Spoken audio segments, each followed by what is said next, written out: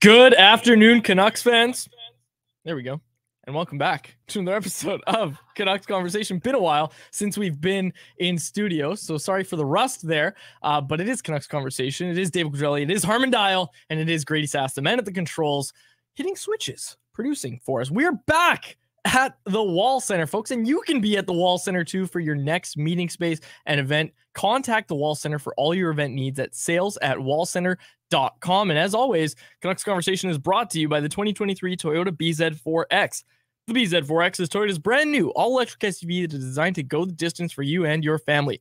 The BZ4X is packed with Toyota's coolest tech, but it still has that trusty SUV feel you know and love. And even though it's electric, it's capable of effortlessly conquering any terrain, whether it's rain, snow, mud, or your friends' questionable post-game recaps. The BZ4X will get you through it all. It's been a while, Harm. We're back. We're back in studio. Done a lot of remote shows lately.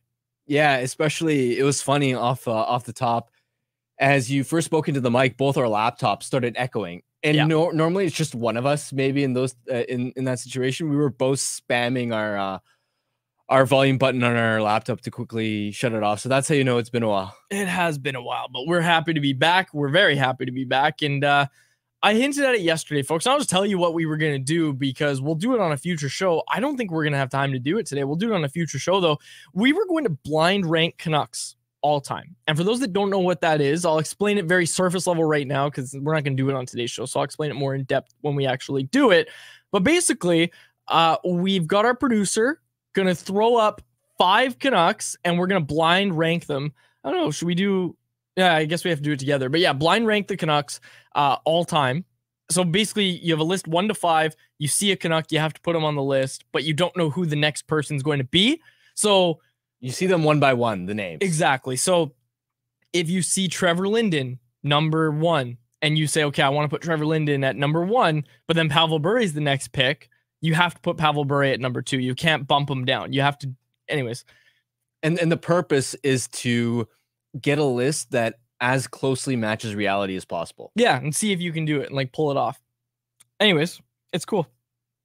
Uh, okay, do people have audio? People are saying they don't have. Yeah, I, I, my my phone. Speaking of laptops, my phone was on with the live stream, and I had audio. I could just hear it for a second there. I had audio, so no, we're good. We're good. We're fine. Giving me a heart attack over here, people. okay, uh, let's talk about last night's game. This segment, our game recap segment, is brought to you by the Four Winds Featherweight IPA. If you're looking for a nice hoppy beer but still want something light, then look no further than the Four Winds Featherweight IPA at just 4.5%. This incredibly light packed Light IPA is packed full of tropical and citrusy goodness. Available now at liquor stores across BC or through the Four Winds online shop for home delivery anywhere in BC at fourwindsbrewing.ca very flavorful at just 4.5%. Look at that can. Uh, go to Delta, River Road in Delta, locally owned and operated. That is fourwindsbrewing.ca. Okay, Harm. Last night's game. This is the reason we're not going to do the blind ranking segment because we have a lot to talk about after last night's game, namely the power play. We're going to dedicate a whole segment to the power play. Feels like that's the story of last night's game, but I'm going to challenge you to talk about last night's game without bringing up the power play. I think it continues a trend where we know at this point that the Canucks can hang against some of these top Western Conference teams. It's not as if they get completely outplayed, completely outclassed, but we are seeing a trend now, especially in the second half, where it's been difficult to turn these, as Rick Tocchet would call them, coin flip games into actual wins. Uh, you think back to all three Colorado games, for example. Mm-hmm. The Canucks were competitive in every single one of those, but just couldn't find a way to actually pull through with the victory uh, in them. Uh, the most recent LA game is a good example of that. Uh, now Dallas, uh, and that also extends to the last time they played Dallas in um, in late December as well. And I'm really trying not to tie it back into the power play, but ultimately, as we get into these lower scoring games, that's what has to be a difference maker for you because I think we can see now whether you want to call it a combination of Elias Lindholm, his injury, and the Canucks not getting the top six difference maker they thought they were going to be when they went yeah. out and acquired him, uh, having to shuttle Hoglander up into the lineup where early in the season he was such a monster offensive driver on the fourth line. So now you're not getting as much secondary scoring from that bottom six. Uh, the blue line has dried up in scoring, Mhm. right? Quinn Hughes was scoring a ton in the first half. Don't I know it? Filip Hronek, Car- even guys like Carson Soucy and Tyler Myers are chipping in, chipping in with offense. That's dried up. So it's been harder and harder to manufacture goals. You're not getting as many bounces as you were in the first half. And um, and really the story of this Canucks team now is that they're a defensive juggernaut, right? One of the silver linings from this game has to be that they limited a potent Dallas offensive attack to zero even strength goals, which is enormously impressive. But they aren't going to be able to come through and, and go deep into playoffs until that power play gets sorted. The power play is the thing that I brought up last week when the Canucks were scuffling, and I said this is the only thing I'm concerned about, and it continues to be that. Um, that's the next segment, though. I'm going to give you a positive that I thought of watching this game. You brought it up, no even strength goals. Something that this Canucks team, this core that we've watched for years now, has made a habit of doing is when that offense dries up, when the offense isn't working, they start cheating. They start giving up rush chances against. They start giving up prime looks against their goaltender, backdoor tap ins. They've limited that tremendously this season. And again, they're staples, they're protecting the guts of the ice. They've done that all season long. They've had a few, hiccups here and there. But again, that's what I attribute last week when I was talking about, okay, yeah, I'm not too worried about the five on five play. The thing I'm worried about is the power play. That's kind of what I was talking about was that's a positive for this team is that when the offense isn't there, they don't start cheating. They don't start looking for offense. They don't start um, coming out of their defensive structure in order to find that offense. Like that's a mark of a playoff team, a good playoff team. That's what good playoff teams do is they trust what they have and they stick with it. So I like that the Canucks have stuck with it. Again, like you said, zero even strength goals last night. That's a really, really that that's that's a positive for this team. And again, the power play is the big negative, and ultimately, I think it's what cost them last night's game. Positive all around on the rest of the game, I'd say. Yeah, especially watching how much havoc Dallas consistently creates around the crease. And I know there were some goal mouth scrambles, but they do that against every team. The important thing is the Canucks were able to pretty consistently box out and make sure that they won those battles and ensured that stars forwards didn't have an opportunity to to get clean rebound chances right on the doorstep. I mean, there was even one play where Filip Hronek, a guy that has been below average defensively second half of the season, Mason Marchment, a big strong body in front of the net, had an opportunity, was going to get a great, a glorious chance in front, and Hronek bowled him over and prevented him from being able Yeah. to get a scoring chance. And, and that's the type of commitment you're going to need. Defensively, I have so much trust in this team. And I made this joke on Rinkwide yesterday. Who could have imagined that a year ago, or more specifically, 14 months maybe, when Bruce Boudreau was fired, Yeah, yeah. that we'd be talking about a Canucks team that is elite defensively. We're pretty confident in their penalty kill, which previously was 32nd in the NHL last season. And their problem is problem recently has been scoring goals and the power play. It's crazy to think about. Does it all remind? And again, I don't think it's fair to say this per se, but does it all remind you of what the Canucks were like right before Travis Green got fired? Because they locked it down. They tried to play super defensively, but they just didn't have the firepower to outscore playing a strong defensive system. A little bit, but I feel like this team has still executed it way better. And Yeah. the the other big difference is the penalty kill was lousy right Yes, before that's a good Green got uh, let go. And so if you're solid at five on five, but you're still leaking on the PK, that's never going to work. Plus, the Canucks since Jan 1 have been elite defensively in terms of their metrics. We're talking top three in the. NHL across the board when you look at uh, shots against, when you look at uh, expected goals against. Even when Travis Green started to get this team to play better defensively at the start of that 2021-22 season, it was they were more middle of the pack defensively. They weren't good anywhere point. close to where they where they are today. So I don't think that's really comparable. But one of the trade-offs of of being so committed defensively is you're not going to be a team that creates off the rush, right? And I think that's by design. I think that's okay, but one of the weaknesses of that, one of the trade-offs is that you're going to have lulls if you can't create offense in other ways. And right now it's been difficult to produce on the man advantage. It's gonna be the topic of our next segment, and I I think we should just get like. Do you have anything else you want to say about last night's game? I was I thought it was a good game for Casey DeSmith. I told you. Like I, I thought he would come out and have a strong game and get back to his staples, and I think he did that. Like I thought Casey Smith was good last night. Yeah, I thought he was solid. I also liked Dakota Joshua's return. Uh, oh yeah, hits. yeah. We should talk about that. He had some good energy. Honestly, for first game back, his skating looked good. Uh, he he didn't look gassed. Like sometimes you can tell when players returning from injury they get caught out for a shift for a little bit too long, yeah. and you can see them doubled over going to the bench. There yeah. was nothing like that for Joshua, which I think is a really encouraging sign. He was out on the ice for that six on five situation, which I thought was well deserved as, as a bigger body. Yeah. Uh, so yeah, I thought it was a successful return for him. And the other Canuck that deserves a shout out, by far their best player, I think, outside of maybe DeSmith. And even then, I still think Garland was better than DeSmith. Sure. Garland, really, the filthy play to set up Miller on on that goal, taking that cross check from Heiskanen, which was a bit of a borderline hit, but to that, put to then stay on his feet, make that spinning pass. The spins, man.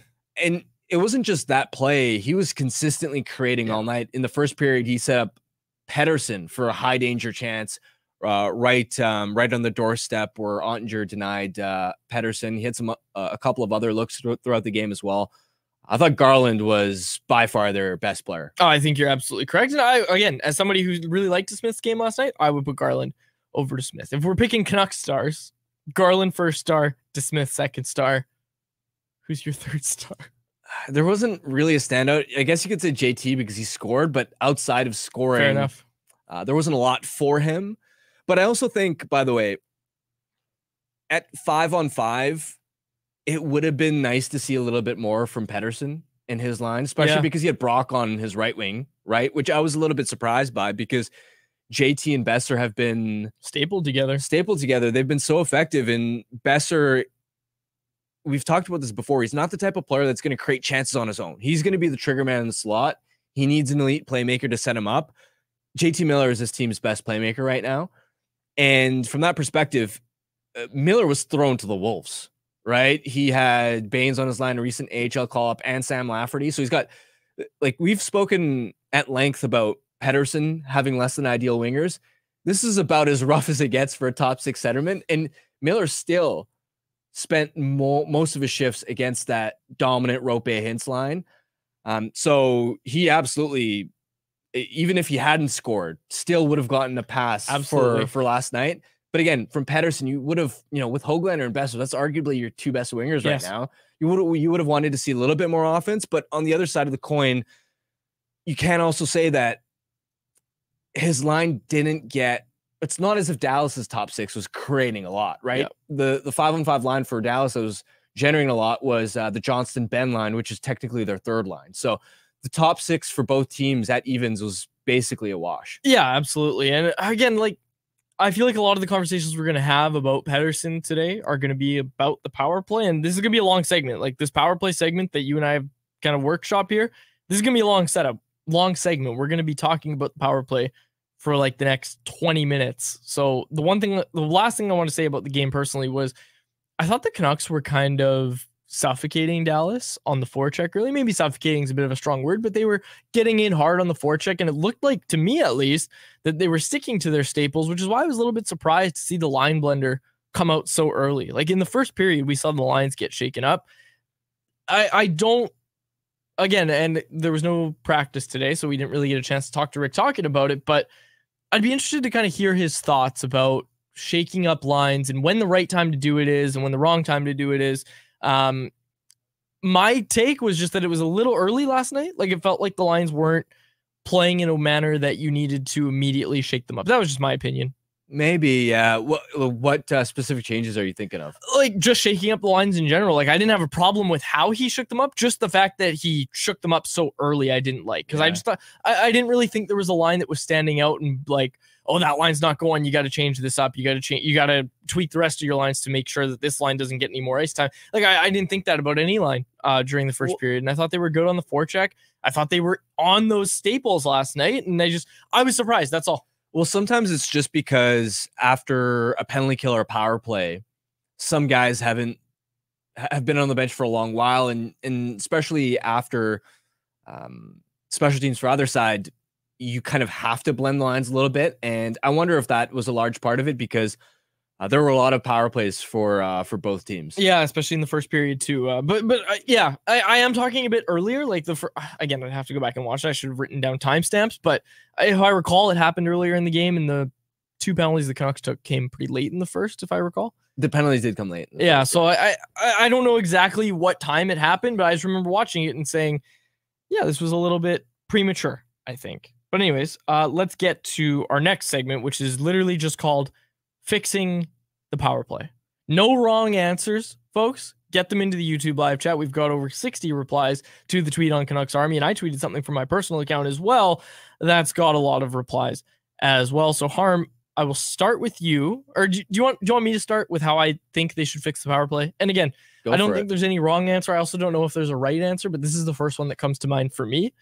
Is just I've been saying it for a while. You have to get Nils Hoglander in the bumper spot, but I still think that that doesn't get the results that you need from Elias Pettersson on the half wall. And that's another issue, I think, is, and I was trying to break this down with you before. Grady, can I get a paper and pen by chance? Because I want to. I want to see what I can do. I want to draw this, and I'm going to put it up on the camera. And for those on the podcast, I'll explain it first before I draw. So basically, we all know how the Canucks power play goes to work. When you have Quinn Hughes at the point, you've got JT Miller on the half wall. You have to have a left shot in the bumper with that formation, and then you have to have another left shot on the other side. And that left shot is Elias Pettersson. Excuse me, I shouldn't say you have to have a left shot. I'm saying that the Canucks choose to have a left spot in that a left shot in that spot, and it is Elias Pettersson. So, what I've really started to notice is that when Quinn Hughes cycles the puck to JT Miller, guys kind of shy off and give Miller some space.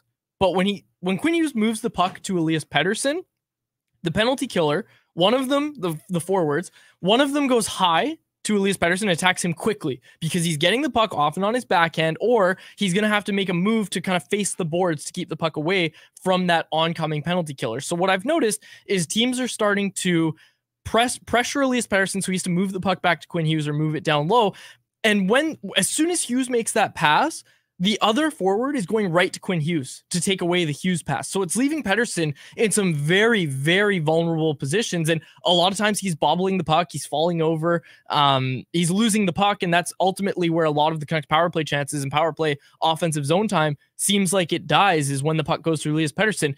This isn't a knock on Elias Pettersson this is how teams are scouting them. This is what teams are doing to them. And uh, one thing I found interesting last night was JT Miller said post game that Dallas's penalty kill threw its threw some different looks at them than was different in the pre-scout. So I found that interesting and I wanted to dive into that a bit more. But basically what I'm trying to say is you've got you've got Hughes at the top, you've got Pettersson on the wall, you've got JT on the wall as well. And basically, as soon as the puck goes to Quinn, goes from Quinn Hughes to Elias Pettersson, he's getting pressured, which means as a left shot on his offside, he's gonna have to move, he's gonna have to turn toward the boards, or he's gonna have to receive the puck on his backhand. He's gonna have to, or he's gonna be in a completely non-competitive spot to shoot because he's not even gonna be close to facing the net if he's getting the puck and he's immediately getting met with pressure, right? So if the forechecker's coming to, coming to Elias Pettersson, what Pettersson will often do is move it back to Hughes. This not only takes up time off the power play, but it keeps the Canucks to the outside. That's exactly what penalty killers want. What Dallas seemed to do last night and why some turnovers were coming from Elias Pettersson or looking like it was because they were then taking away the pass to back to Quinn Hughes. So you can see it here. No, you can't. But get a little closer. You you, you could potentially. I'll no, it's okay. Oh, it works. It works. There, yeah, you, go. you go. So you see it. Those two arrows there for those on the YouTube live show. Those two arrows there are the are the forecheckers. So as soon as the puck goes from Hughes to Pettersson, he's being met with pressure from the penalty killers, and that's something that's different. I feel like lately is what we've seen. Look at those illustrations. Yeah, I know. Yeah, you're you're bang on on that point. I do think it's interesting that on the last power play opportunity that they had, they went with him in the bumper. I wonder if that's something they might experiment with because ultimately, big picture, one of the main problems I see with the power play right now is they haven't found the right fourth forward yes. all year. Yes. Right. At the start of the year, it was Kuzmenko, and Kuzmenko was sort of just an accessory. He wasn't an important part of that first unit's initial success. Uh, you had Hronek there for a while. Uh, obviously, had Elias Lindholm there for a while. Had um, Conor Garland there for a while. Now you've gone with Pius Suter. None of those options have inspired much confidence. Yes. And you're not going with two defensemen on the power play by shuttling Hronek up. Yeah. And so that still stands out as an issue for me because with this default set of JT on the left side, Pettersson on the right side, Quinn Hughes up top, Mhm. they've had some variation of that since the 2019 20 season. Yes.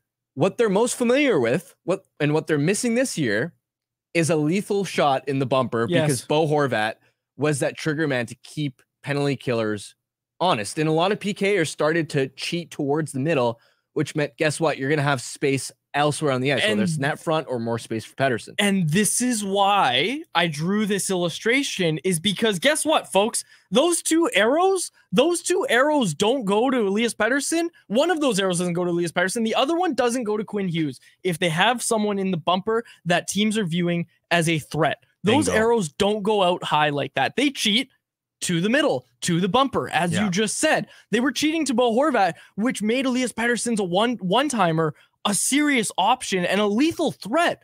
Like we used to see Elias Pettersson take one timers on the power play. Now he's got no time. He's got no space. And Suter doesn't have that There you go. lethal shot to get it off. He can't really find those soft spots that he needs to kind of back into and then get that shot off. And what teams are doing now is they're focusing their defensive pressure over on Pettersson, on Miller, on Hughes, because they'll give Suter that shot all day long, right? Yep. So you can kind of see how teams will scheme against them now if your bumper guy isn't able to pull the trigger. So the question for me becomes who goes to the middle? I, I've thrown out Nils Hoglander. You need a left shot. You're not putting Ilya Mikheyev there.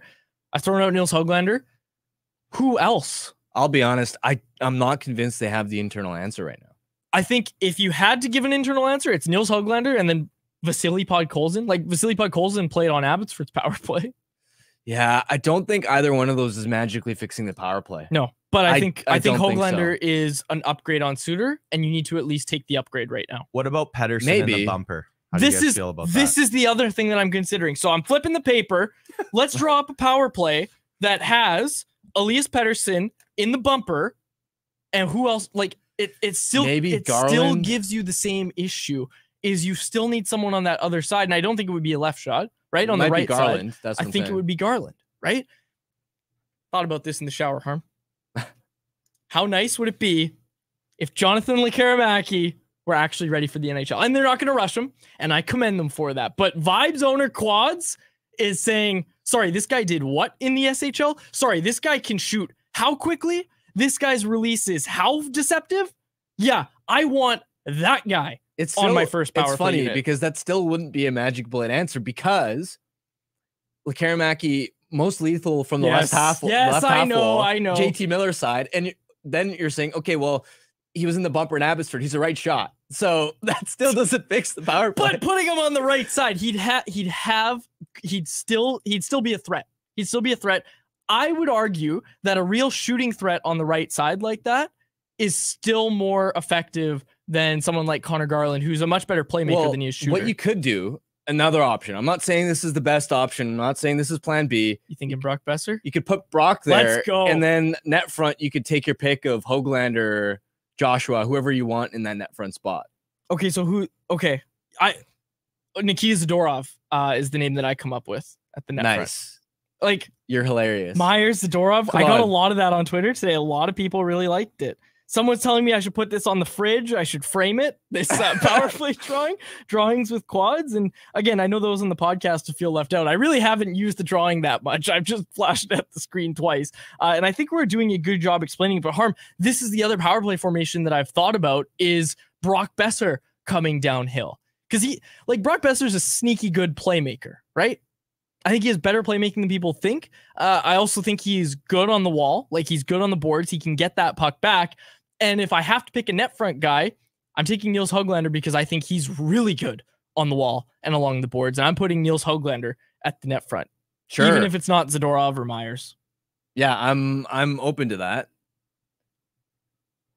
Sorry, I'm drawing out the power play. So basically, how it would work, and for those on the podcast, it's a diamond. It's basically just a diamond with Elias Pettersson in the middle. Basically, that's all you have to imagine. I Uh, think you one could- one. One three, yeah. Yeah, one three one exactly. Um, yeah, I guess that's a better way of describing it than a diamond with Elias Pettersson in the middle. But you get it. You get it. It's a square now. But and, and let's point one thing out too. Like you have those spots illustrated there. The best power plays in the league have rotation. They don't have guys staying in the same yes. spots. That's what one thing I feel like they haven't been able to do is because they're playing so much around the perimeter, guys aren't really able to move in and out of those spots. And it be, just becomes too predictable for So- penalty killers. watch this. If Oh. Coach Quads has his whiteboard, you know what he's showing the group? Wait. no, you got it.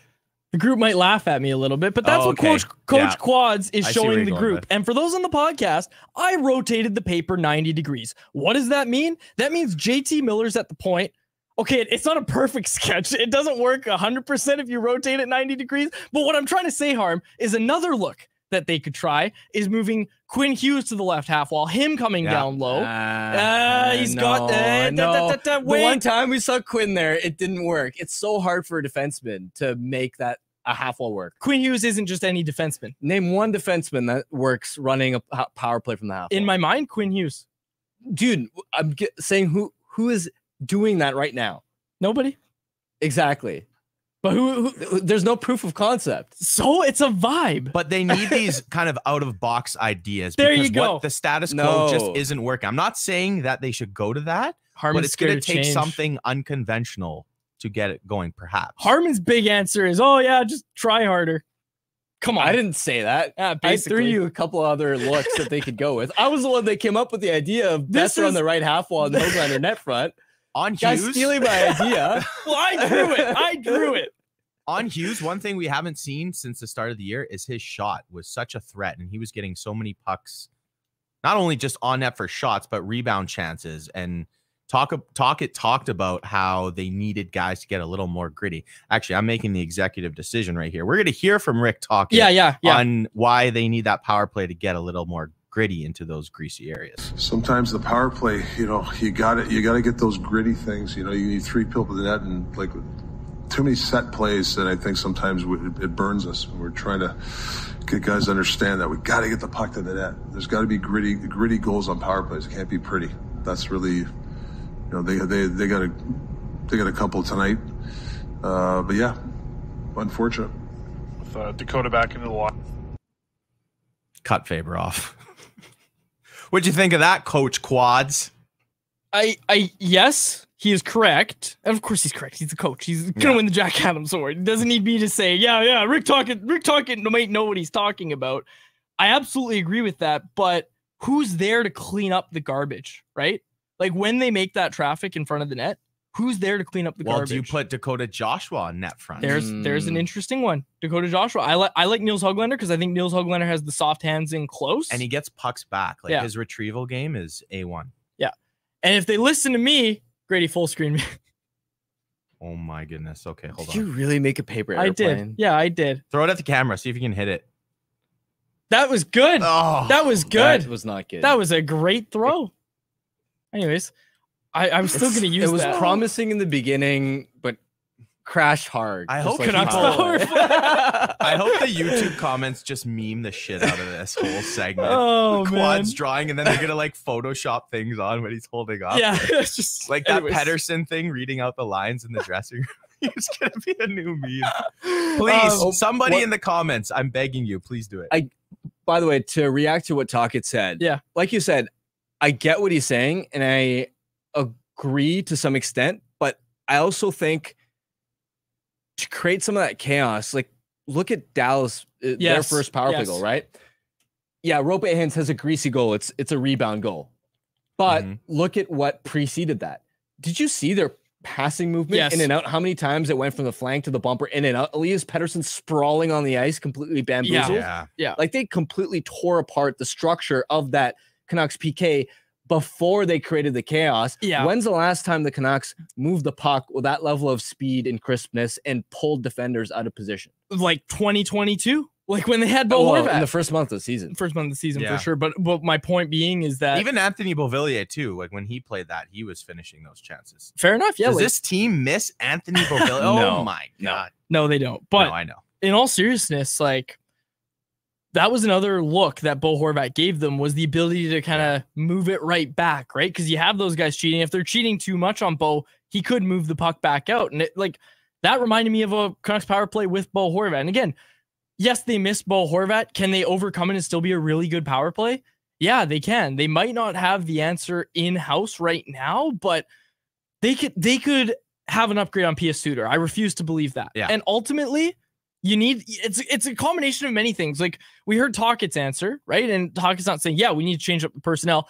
I think they have changed up the personnel, but once they change that personnel, they also have to change what they're doing as well. And they need to listen to what Tocchet's saying about getting in and you know too many set plays. Like that's how people scout you is okay, we know they're gonna do this. And if you don't have that threat, like a Bo Horvat, for example, teams are teams are scouting you, and the set plays work a lot better when you have someone like Bo Horvat, right?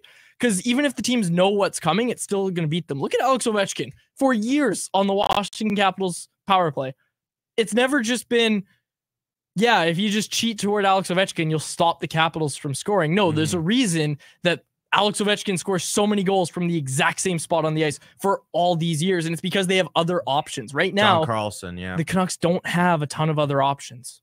Yeah, I would also point out in that Dallas game specifically, they did a poor job of recovering loose pucks. It was a lot of Mhm. even when they did take a shot, whether it was blocked, hit the net, rimmed around on, on the other side, they um they didn't have enough t- tenacity to win those um battles. A couple of situations where Miller on situations where eight nine times out of ten he's recovering the puck wasn't able to cleanly corral it and um and it resulted in Dallas being able to get uh, some clears. Well, speaking of Miller, why don't we hear from him on assessing the uh, poor power play here? We had a couple of looks, but honestly, I just not not enough, not good enough. Uh, not enough momentum for the group. Uh, we're not getting any loose pucks back. Just feel like we're playing slow, and you know they they, they gave us a little different look than probably the pre-scout suggested today, and they. Uh, I just don't think we responded very well. We had a couple looks, but we need to cap. Like we just need one right there. You know, going into the third. Super interesting about the whole pre-scout thing, them giving them yeah, different and that's what I'm trying to figure out is if if what he's meaning because look, Miller understands the game at an extremely high level. He likes to talk the game at an extremely high level. He doesn't like to talk the game at an extremely high level after games, after losses. He doesn't really get into the X's and O's. Um doesn't really want to give away much about the Canucks tactics at the best of times, but I think what he wanted to say there before he said different than the pre-scout, like he kind of paused there, not to get too tinfoil hat here, but I think what he was gonna say is they were pressuring a lot harder than we expected. Like I think the Dallas penalty kill was just coming at them in a way that they weren't quite prepared for. And it look, I don't have the drawing anymore, but I think that's what they were doing that kind of took the Canucks off guard, or caught the Canucks off guard rather, was them just pressuring up high going to Pettersson as soon as he would get the puck, and then going out to Hughes to take away that return option for Pettersson. That makes sense, but there are also so many little intricacies with the with the power play that I mean, I haven't pre-scouted the Stars PK, so it could be a number of factors. I mean, I remember this is a completely different example, but at the start of last season, one of the first times they played Edmonton, I remember having a conversation with JT uh, about the Oilers PK and how their look was a little different, and he would very specifically be pointing out that um, the the structure that they had and the angles they were giving him, his because when JT's down the left half wall, he also likes to shoot himself because that way he's you have to be honest as a PK that okay he can shoot and pass, and he was like they were forcing me farther to that left side as opposed to I like to come down and be closer to it, closer to being inside the dots. So it could be a number of things. Pressure, pressuring. I think that's probably one of the factors, but um, we don't definitively know what it was. It could have been a number of, of Yeah. little things. Yeah, absolutely. And I think it was a number of little things that Dallas did really well last night. Um, for the Canucks power play specifically, is there anything else that you wanted to bring up? Uh, we should get into some listener feedback. Like I said, we've got 60 replies. Yeah. I'm sure Uh, there's some good stuff in there. Yeah, we've got well, don't speak too soon. No, I'm just kidding. Um, yeah, we've got 60 replies to the Canucks Army account. I didn't even check how many I had left on my account. Uh, I tweeted out from my personal account asking basically the same question. Actually, I should say I tweeted out and then the Canucks Army account stole from me. But anyways, I told Robert to do that. ah, that's okay. Robert's a good dude. Uh, okay, and I like this. I'm just gonna I'm just gonna scroll through. I'm not gonna attribute answers to people because I'm not gonna read out everybody's username. But I'll tell you one from turning the tables. I know I already broke the rule. I said, but he said the big hog, Hoglander. Get him out there. I think that's the most immediate answer for me. Tocchet doesn't sound like he's close to considering it. I know. He was asked about it at morning skate, and you could just tell that I, I don't even think he liked the question Yeah. that much. It doesn't seem like something that's uh, registering as um, as one of the first potential solutions. I find it at. interesting because it's not it's not just and I know there's going to be people that say this is like oh he doesn't like Hoglander. It's It's not it's not that, that. It's not that at all. Rick Tocchet does a really good job of explaining why he's doing things or why he's not doing things. Like that's something I've really come to appreciate since he's been in Vancouver is he's very honest about basically any question you ask him, you're going to get an answer. And when I think back to when Hoglander wasn't even on the power play, the answer Tocchet gave, I didn't love the reasoning per se, but he gave his honest answer. And the the answer he gave was he's playing so well at five on five right now. And who knows if we increase his ice time, if maybe that five on five play slips a little bit, and we really need him at five on five. So getting him on the second power play, you know, how important is that type thing? And that that was his answer at the time. And again, I, I think I reacted to it when it when it was said. I didn't love it. But Hoglander's on power play two right now. I almost wonder if Tocchet might be thinking in his head, like, okay, I like Hoglander on power play two, and I like where he is on power play two. And we need to have two power plays that we can at least look to to produce some offense. Nah, I don't think that's. What do you think the reason is? If I had to hypothesize, I'm not trying to put words into Tocchet's mouth. Mhm. If I had to look at it strictly, like just me looking at Hoglander Yeah. and a potential fit in the bumper, the two concerns I would have are number one, look back at the tape on the goals that he scored in the NHL. He's not beating goalies very often with a snipe of a shot from the high slot. A lot of it is chances right around the blue paint, whether it's tips, deflections, rebounds, little backhands. Uh, it's it's not necessarily sniping goalies and finding the corners or um, the difficult spots like the Benn shot, which was just above the pads, far side. That's a really tough location for a goalie uh, to track the puck. Hoglander's not hitting those spots when he's scoring in the Yeah. NHL. So that's that's number one. I don't know if he has the shot from that spot. The second aspect is Hoglander does so many things well, right? He's got the unbelievable motor. He's tenacious. He wins inside body position. He's got quick hands. But one trait that, one weakness that he perhaps has is that he doesn't have the highest offensive IQ. Yes, uh, that was Like the, reads and like, and and that's a consistent thing that when you talk to other other teams as well, the other other people, not just uh, pe- people around the Canucks, Yeah. like that's an observation they have too. And in the bumper spot, you need to be really smart about understanding when do I like wh- you got to understand angles. You got to understand geometry really well um and understand how how do I what situation do I sag off and go to the high spot? yes. What situations do I creep down a little bit? Um, because it's the middle of the ice. PKs want to protect that. So you have to be really smart about positioning yourself and actually getting open. And it requires a lot of very quick reads. And um, and that's a lot to put uh, on a player who I don't even know if Hoglander's played the bumper in his career. Before. Yeah, that's a great point. And I mean, when we talk to other players that have played the bumper, and like this is a conversation, I can't remember who I was talking to. It might have been Bo a couple of years ago, but actually, I think it was Bo. I, anyways, doesn't matter. It was a player telling me about what it's like to play in the bumper spot. And basically, what he said is the only way to get good at it is by getting reps in there, and you need a lot of reps to learn when to sag off, when to make those those subtle movements, right? And you know, like Brock Boeser's somebody that we've seen kind of evolve in that role, but we know that he, they need to have, you know, they need to have a left shot for it to be effective for Miller, right? And uh, again, Brock's probably not the answer in the bumper spot, but like there's a guy who does have that offensive IQ, does have that knowledge of shapes, and can, you know, decide when it's good to sag off, when it's good to move in closer. I I don't know what the answer is. let me let me throw this one at you guys. So last year and the years before, they had Jason King running the power play. Now, Quads, you reported last year, just off some simple googling here, that they they weren't gonna hire a replacement for him. They decided they're gonna go internally. They're gonna have Rick Tocchet. We know the Sedins run power play too. Mhm. They are 28th in the league right now since the All Star game at the power play. They've dropped to 17th overall. Last year, I think they were 11th at 22%.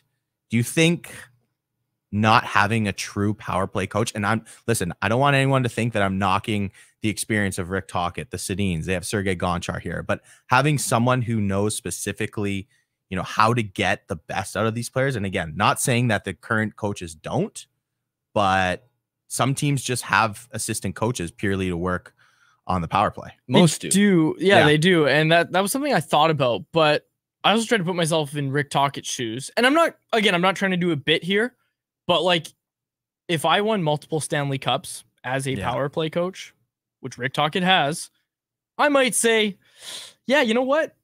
I can do this on my own. And I mm-hmm. eh, and again, it's it's not like Rick Tocchet's just operating on us on his own and saying it's going to be done my way and nobody else's way. There's input from all sides, right? Like Rick Tocchet has conversations with his players. Rick Tocchet has conversations with his assistant coaches. Like Rick Tocchet can't talk enough about how much he relies on and appreciates the input of his assistant coaches. So again, I I don't I don't want to go down that train of thought to be honest with you, Grady, because I just think that he he has the experience as a power play coach and Mhm. like like let's say Rick Tocchet wasn't the power play coach for the Canucks and there was a different head coach.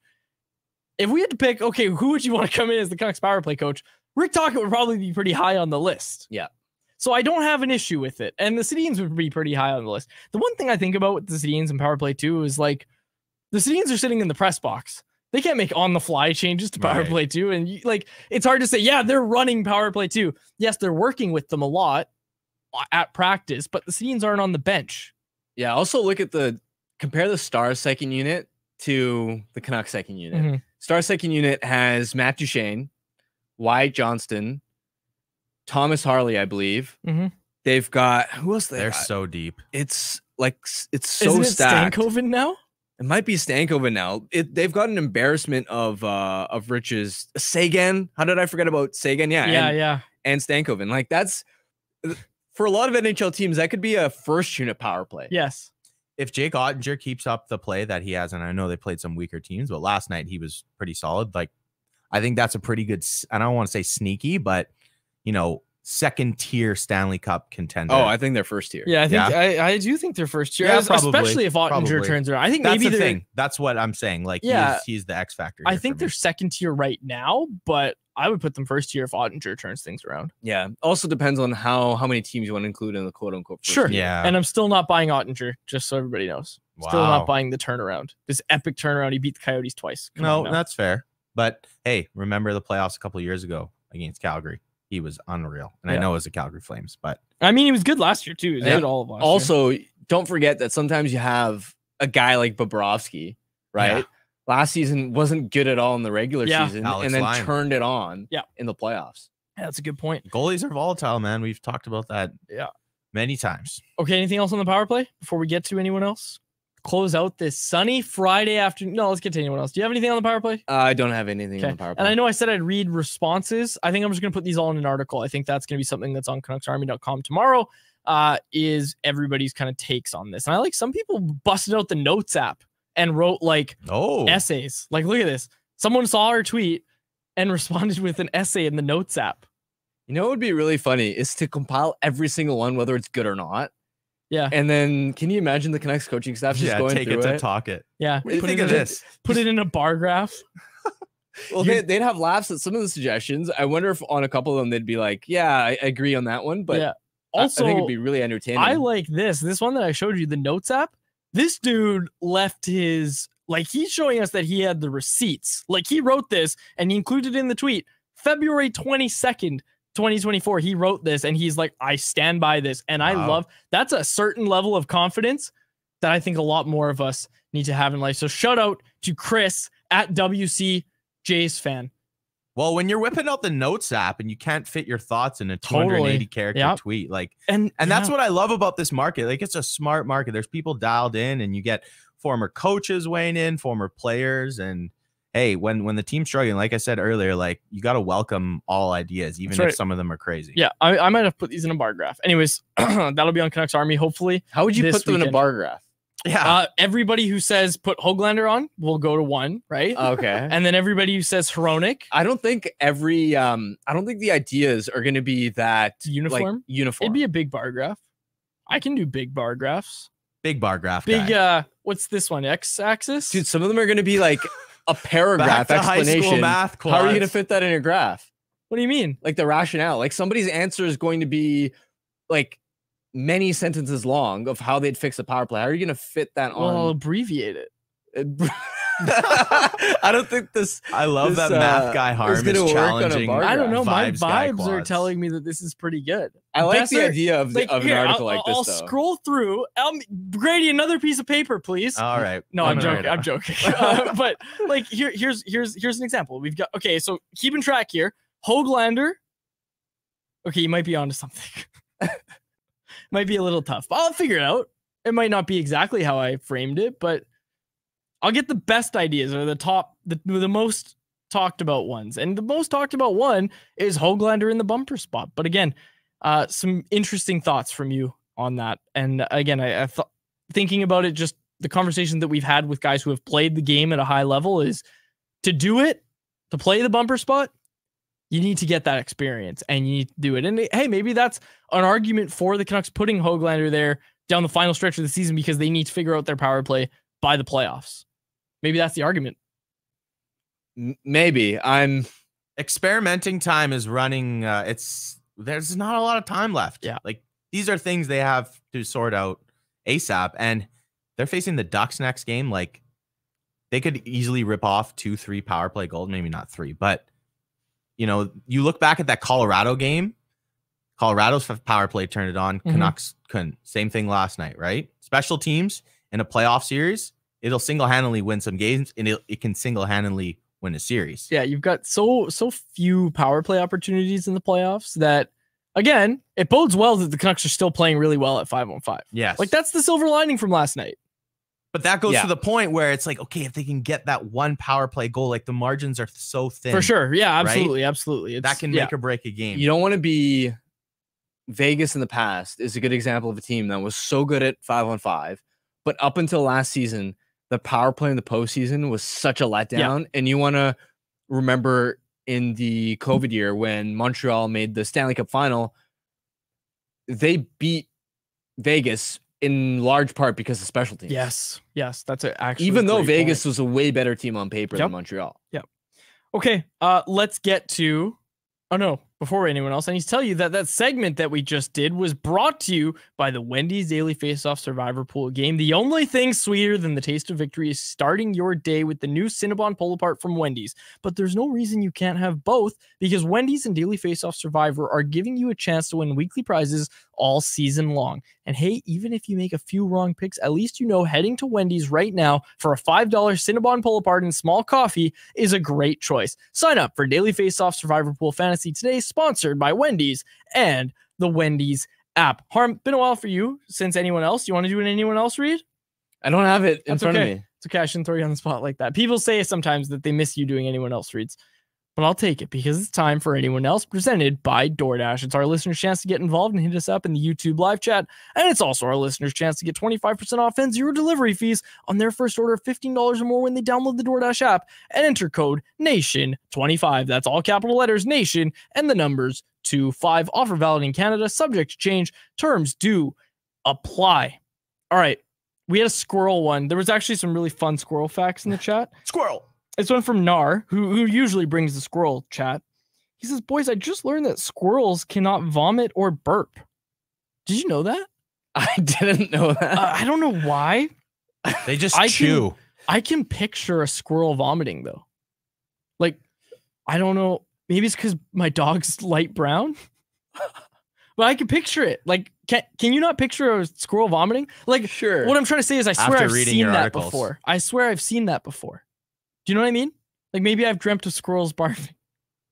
I, Oddly specific, but okay. Yeah, That just made me think of it. It made me think of it. Um. Oh, here's a good one. This is also from Nar. Imagine the Twins came out of retirement as power play specialists. Would they be any worse than the current power play? Do, do you want me to be fun or be honest? Both. The fun answer would be to say, yeah, it'd be amazing. It'd be fun. The honest answer is, Power play two. yeah, power play two. There you go. okay. Uh okay, here we go. Carmen Carmen Gruel. How do you yeah, okay. Anyways. Uh what about PD Hogs Boeser and then Miller, Garland, Joshua for the top two lines? What'd you think of Hoglander and Boeser on PD's wings? I didn't think that line. They had a great shift in the third period, and uh, and Pettersson on a partial change had a good chance in the first period. But outside of that, I didn't notice them a ton. I'd like to see Brock back with JT, if I'm being honest. Yeah. Get JT. I'm sorry, Like- but get JT away from Lafferty and Bains. Yeah, That's, that's, yeah, that's absolutely correct, Grady. Yeah. you I- I- can't expect. Like, look, JT's been a monster, but you can't expect him to drive a line with an AHL call up Yeah. and a fourth line player that has like six, seven points in his last four. I forty. guess he was trying to yeah. insulate him with the young kid. But here's the thing I don't get. Like they practice with all those lines and then come warm ups, like you're you see all these well, not all because they reunited Blueger, Garland, and and Joshua, but all of a sudden they throw like these couple random lines out together. It just seems like to me it was kind of just a rash decision. And you hope maybe they got a little more practice time, but then again, what the hell do I know? I don't think it's rash. They probably thought about it a lot. Probably had conversations Mhm. with people in leadership group like JT, Yeah, that's And- fair. just change their mind. And But still, put JT with players who can think the game at a level that he can, right? This one from Mike Lavalley, and I like this. Top teams don't juggle lines. Colorado, Dallas, Edmonton, Carolina, and New York don't juggle their lines. They try things in practice and then give them a full game to build chemistry.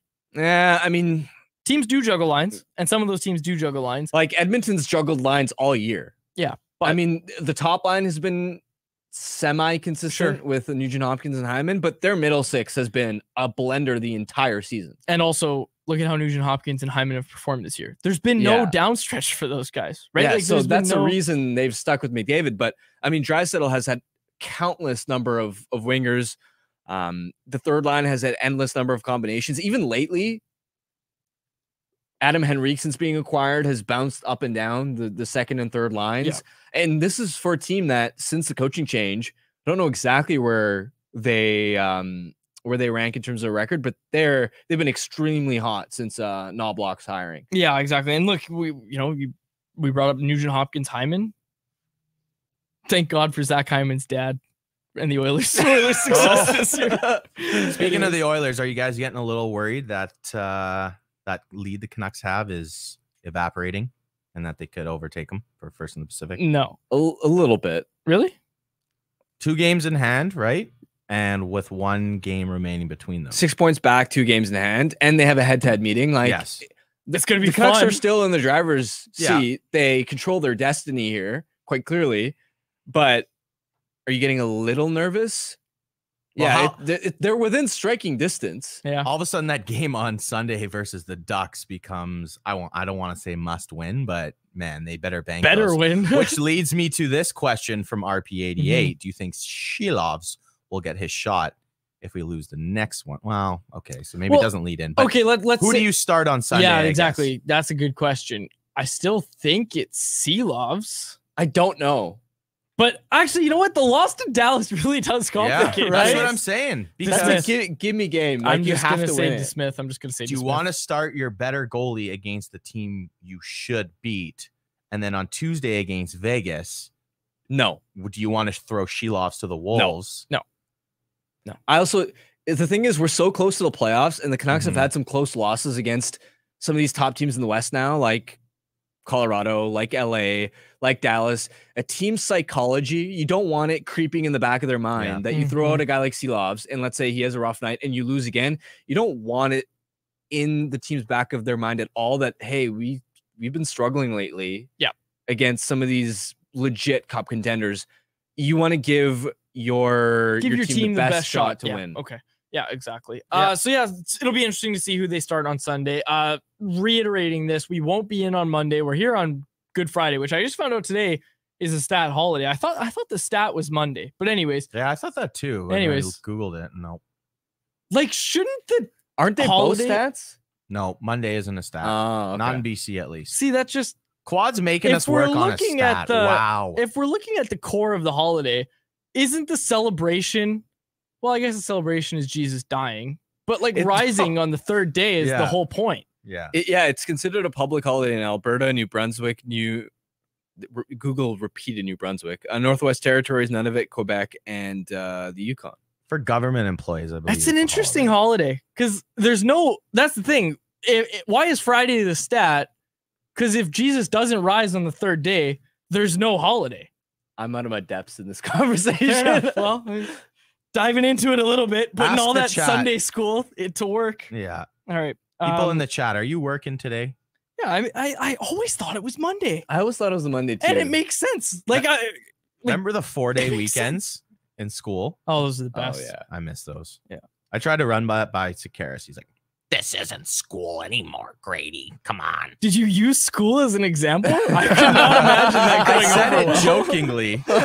yeah, I'm, I'm just gonna message Quads and be You like, took "Hey, it way too we- we serious. got half day Wednesdays. can we? And like, can I call When it? the a- hell is nap time? When's the next Pro D Day, Quads?